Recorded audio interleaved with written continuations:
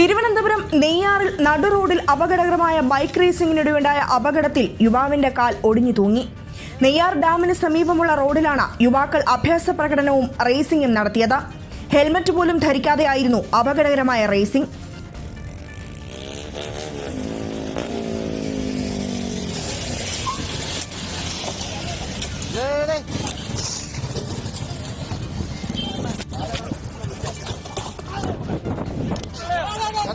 ചുമ്മാ ചേട്ടാ ചേട്ടാ ചേട്ടാ കണ്ടില്ല ചേട്ടാ